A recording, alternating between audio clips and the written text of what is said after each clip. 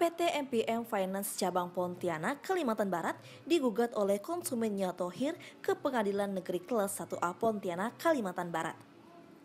Pihak konsumen merasa sangat dirugikan baik secara material maupun imaterial oleh pihak PT MPM Finance Cabang Pontianak atas tindakan sepihak yang melelang mobil-mobil Mitsubishi FE74 HDV dump truck miliknya. Ya jelas kita pihak prinsipal kami untuk kerugian ya. Kerugian tapi mana uh, klien kami ini merasa dibohongi gitu. unitnya pada saat itu dikatakan untuk di diperbaiki karena unit kan mengalami kecelakaan ya kan?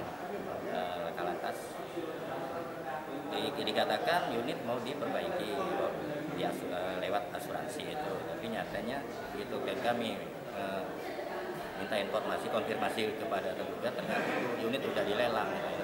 perbuatan melawan hukum kami. Namun setelah mobil dump truck diserahkan kepada pihak PT MPM Finance, ternyata mobil milik konsumen atas nama Tohir tersebut telah dijual ke pihak lain. Sedangkan konsumen masih sanggup untuk menyelesaikan berapapun biaya dan kewajibannya sebagai konsumen kepada PT MPM Finance. Dari Pontianak, Martono, Dodi Rahman, TV One Pontianak mengabarkan. Bagaikan dua sisi mata uang, kami hadirkan informasi untuk Anda.